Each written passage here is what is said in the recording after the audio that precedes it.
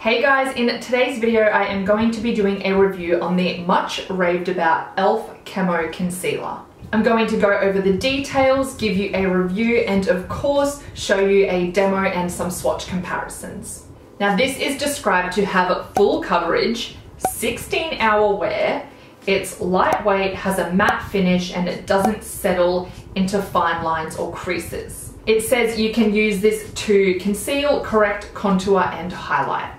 Now I end up grabbing this from Kmart for $10. It is also available on the e.l.f. Australia website. They retail for $15 each and there are nine shades to choose from. Although on the US site, they only retail for $5 each and there are actually 18 shades to choose from. So I end up grabbing two shades. The first one is Fair Warm and this is described for fair skin with yellow undertones. And then I also grabbed Fair Beige, which is for fair skin with neutral undertones. I am actually really impressed because these shades are so fair. They do have swatch pictures on the website and they are so completely off. I'll insert them now so you can see. They have a swatch of the concealer wet and then a swatch of it dry. And the two shades that I picked up actually look so different when they are dry. They look really dark and I was like, oh, I don't even think they're gonna suit me. So when I got my hands on it and swatched it and let it dry, I was pleasantly, pleasantly surprised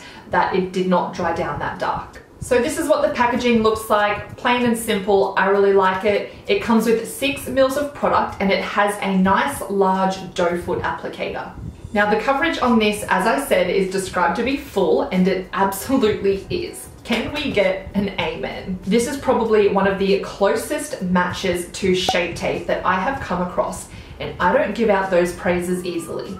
You only need a small amount to get amazing coverage and it also builds really well if you're after a little bit more. It is a matte formula and it does dry down quite quickly, so I do suggest only doing one eye at a time. It does dry down well, but I personally still like to set with powder. Now, if you have dry under eyes, you're probably not going to like this.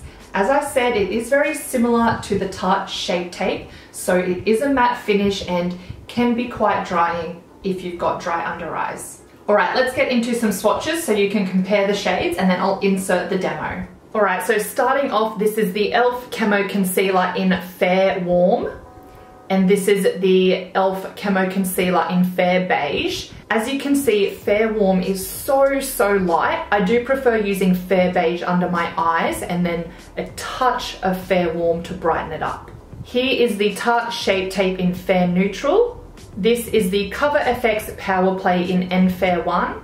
Here is the Makeup Revolution Conceal and Define in C1. This is the Colourpop No Filter in Fair 04 and this is the Maybelline Fit Me in 05 Ivory. So I'm going to firstly go in with the shade Fair Beige. So similar to Shape Tape, this concealer has a thicker consistency. I'm not sure if thick is the right word because it makes it sound really heavy, but as you can see, it's not a super runny, liquidy formula. So I'm just going to take some of this and dot it under my eye and blend it out with a damp beauty sponge.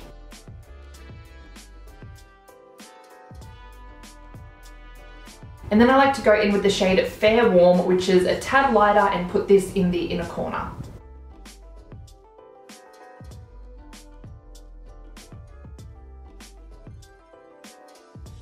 So that is what it looks like. I only used three little dots and the difference in coverage is just amazing. So here is a close-up of what it looks like. As I always say, I have super fine lines under my eyes, so literally every concealer settles into those. But this concealer, very similar to how Shape Tape performs, only settles very minimally. It really doesn't need a lot of powder, so I just like to use a brush